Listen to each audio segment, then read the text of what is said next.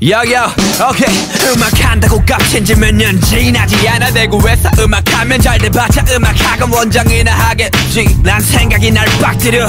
어차피 한 번 사는 인생 뭐든 1등 한 번 해봐야지. 공부론 못하던 일들 음악으론 할것 같아서 주위에서 10종 팔고 이 새끼 또 지랄병이 떠졌네 떠졌어.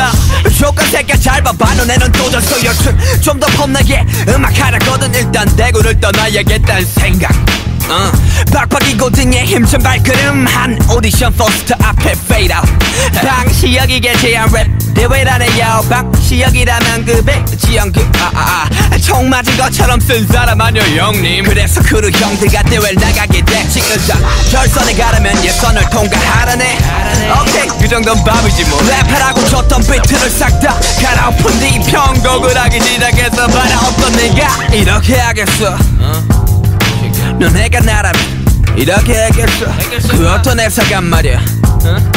이런 천재를 싫다고 하겠어. 회사 입장에선 요 보기 굴러온 거지. 막연한 믿음 그게 내 성공의 본거지. 아, 지난 일이라 얘기하는데 예선 다음 날 전화 한 통이 왔어. 지역 번은 공이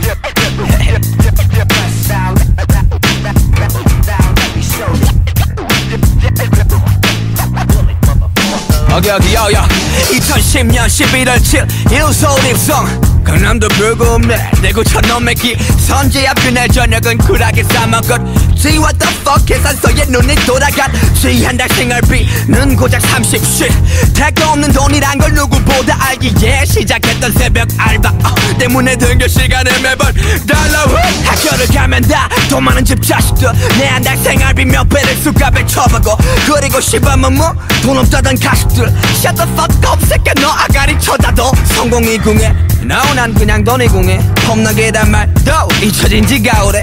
밤에는 연습하고 새벽엔 알바하고 그렇게 지친 몸 굴고 학교로 가면 잠만 자던 내가 스무 살이 돼버렸네. 졸업식 풍경은 썩 구리네.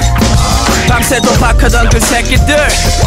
졸업 선물로 외제 잘 꺼내 그건 좀 부럽네 부럽네 씨 세상은 불공평 하단 걸 진작 알았지만 누군 15평짜리 두루면 열댓 명 이같이 사는데 누군 폼나게 졸업하자마자 잘 꺼내 오케이 오케이 오케이 두고 봐 데뷔는 하겠냐 말 두고 가 1년 뒤에 봐봐 새끼야 내가 뭘 하는지 넌 그제서야 TV 보고 연락하겠지 응?